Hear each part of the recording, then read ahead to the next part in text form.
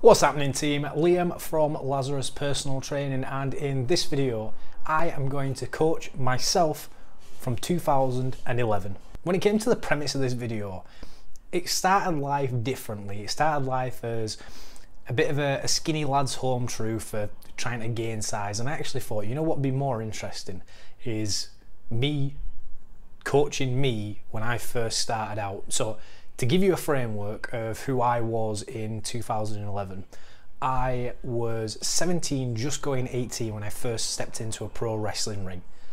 I was starting my second year of college. I was about 70 kilo, give or take, in that sort of range. Uh, I reckon I was probably around nine stone. Nine stone is around about where I sat. I don't know if those two things match up. I was the epitome of skinny fat. Off your skinny fat ass! I had no arms, no legs. I would like to say that I had some definition in my abdomen area, however, I didn't. And for the most part, I was often bloated because I had a fair bit of milk while being a little bit lactose intolerant. So I would often be slightly bloated in the midsection. So obviously a fantastic look to have. My whole reason for joining the gym was to get better at pro wrestling and to better my physique for when it came to pro wrestling. So on my first day going into the gym, I had an induction and what I'm envisioning here is that actually I sat down with me rather than what happened, which was I was taken around the gym, asked for about two seconds what my goals were in terms of joining the gym, shown the equipment, and then told, you're good to go. I was not good to go, and the majority of my time in the first year of training, yeah, around a year, was sitting on machines, not knowing how to use them correctly, watching people in the dumbbell area, trying to work out what they were doing. If that area cleared out, and this was quite a small space at Wycliffe Mount Sports Centre, if that area cleared out, walk over, maybe pick up a dumbbell, maybe do a bicep curl. I started getting a little bit more adventurous and using the bench to do a Smith's machine bench with terrible form. I remember seeing a sign saying that barbell back squats were better than the Smith's machine squat. The only problem is they didn't have any barbells in the gym, just a Smith's machine. So it was almost like just tempting you. I'd do some ab exercises and there was a Bulgarian sandbag which I was quite fond of. Not that I knew if I was using it right, but it was quite fun to throw around. So overall, my progress in the first year where they talk about beginner gains was minimal. With that said, what I'm going to do is I'm going to sit down with me from 2011. Can you be any louder? What I'm going to do is sit down with myself from 2011. I'm going to ask myself some questions and then I'm going to design a framework for training and nutrition and some reasonings behind that. Also, this may get dead confusing when I'm talking about me, uh, but him, but me. So bear with me on it. So Liam, what exactly do you want to achieve out of being in the gym? Uh, so I, I, I want to get I want to get bigger for wrestling. Um, so I, like I really like The Rock and I think he's really cool. Um, so yeah, I'd like to I'd like to put on some size so I I'll look a little bit more like a wrestler. Okay, fantastic. And tell me what's your previous experience like with health and fitness and exercise? Uh, so like at school, um, I did uh, I did I played football. Uh, like I played like um, a year of like cricket and like um, like at college I've not really uh, not really like done like anything like. And then finally, give me an idea about what your nutrition is like. Like I eat quite a lot actually. Uh, like uh, in the morning, like I'll have like a, a, slice of toast or like maybe some cereal, um, and then like at college, like um,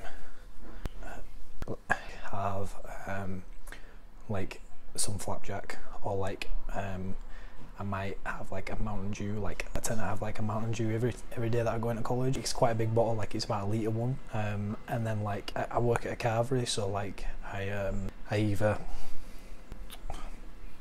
uh, like I'll have a carvery or like my mum makes tea. So yeah, like I yeah like I eat quite a lot. I, Like I just can't put on any size. So from that there, you can tell I'm an idiot. Uh, you know what? No, that's not fair. I'm not an idiot, and I wasn't an idiot. I just didn't know what I was doing, and that's very, very common. And I, at this moment in time, would love to say that I would have loved that when I was at that point, but actually, I don't know if I would have done. I think I would have been incredibly shy and reserved. I was a bit like, I'll just do it by myself. So, with hindsight, I don't even think I'd have got this far into it, but play along. So, in terms of the training, what I would do with him is set him up on a program where he would be working out three times a week to give him a bit of flexibility. We would be working on a squat pattern, a push pattern, and then from there, a row pattern and a hinge pattern, or some variation of the upper and lower. So that might be a squat pattern and a row pattern and a hinge pattern and a push pattern. Reason being is that I want Liam from 2011's movement patterns to be as good as possible. If we build up his strength, he's probably going to build up a bit more size with that too, so they go hand in hand. Once we've done those movements, I would then get him doing some isolation exercise, and these would vary from day to day, but we'd either be looking at biceps and triceps or quads and hamstrings. The reason why I'm getting him to do a little bit more um, isolation work is because size and hypertrophy, while he doesn't particularly know that, is important. So, to get him doing those things makes him feel like he's moving towards the right direction. So, to give a framework of what training a training week might look like, his Monday might look like some squats to begin with, bodyweight squats, to then superset that with some push ups, then going into a cable back row that paired up with a kettlebell hip hinge we'd then put in some tricep pull downs and some uh, bicep cable curls. Again, I am literally throwing this out in my head. We would then repeat the strength exercises every day. The difference being the isolation exercises would change to some leg extensions and some leg curls, and then back to arms with a slight variation. I might use some dumbbells for it. What we're doing in that beginning phase is implementing set patterns so Liam can develop and he can grow. Once he gets good at those things, we might change the bodyweight squat to a kettlebell goblet squat. We might change that push up position to some dumbbell pressing where it becomes a little bit more about the muscle stabilizing. We might change that uh, cable row into some sort of pull-up variation and we will change that kettlebell hip hinge into a kettlebell deadlift then maybe some dumbbell Romanian deadlifts. But there's a progression that we're going through and that's the skill of strength that we're trying to learn. In a beginning phase if you've never been in a gym before or you've got very very limited experience I would want you to learn the skill of strength because it pays off massively down the line his isolation exercises will just vary over time with increasing difficulty, rep ranges, and all that sort of stuff to keep it interesting and to keep it feeling like he's doing the right thing by getting a pump in the areas that he wants to develop, that being his arms and his legs. We'd also throw in some core stuff through it. So once he's done his isolation stuff, we're going to throw in some stability exercises like dead bugs and bird dogs, get him doing some planking, maybe get him doing some like crunching movements, just so you can feel like the abs are working. But overall, that strength work is going to be the key component to making sure his core is strong. The core work comes as a little bit of a supplement into that, and they would just be implemented at the end of the day. In terms of his nutrition, now we listened to his nutrition and it was bad. Let's no bones about it. Me in 2011 did not know what I was eating in the slightest what I would look to do is rather than completely overhaul his eating patterns, it's just not going to happen. I know that wouldn't happen because that is me. And at that point in time, I, I mean, I still don't really know how to cook, but I completely didn't know how to cook. My mum can probably attest for that. Going, here's a meal plan, follow this. I don't know. I, I don't know how to cook chicken. Like, that's not happening. So, I would look to do is coach me coach Liam on what a proper nutrition makeup looks like. So I would tell him about proteins, carbs, and fats, just so he has an understanding of it and he can build up his knowledge that way. I would tell him to drink more water. One, because he needs more water, and two, because it starts a habit change in place. If he starts to drink water on a daily basis, which is something that is really, really achievable and costs nothing, bang, we start a habit change that he can then build upon. And what I would also look for him to do is get a protein shake. Now, with that, I remember getting a protein shake. Might not have been in the first year of me training, but at some point along the line, I definitely got one. Did I use it correctly in terms of was I using it on a regular basis? Probably not. Now, times have changed from 2011 to 2020, and protein is way more available, I think, and far cheaper and easier to get a hold of. Back in 2011, when I didn't know anything or where to get anything, the protein that I got was from Sainsbury's. I probably overpaid for it. But again, at the time, you just do what you can find. So what I would advise is getting a protein shake. I would probably put him in the direction of where to go, but I would let him find it so it's his journey. And I would go get this protein shake and drink it on a regular basis. One a day, maybe one every other day, whatever he feels like is best for him. But we set that in place. Again, small habit, but it also increases his protein and gets him used to consuming a bit more calories on a regular basis.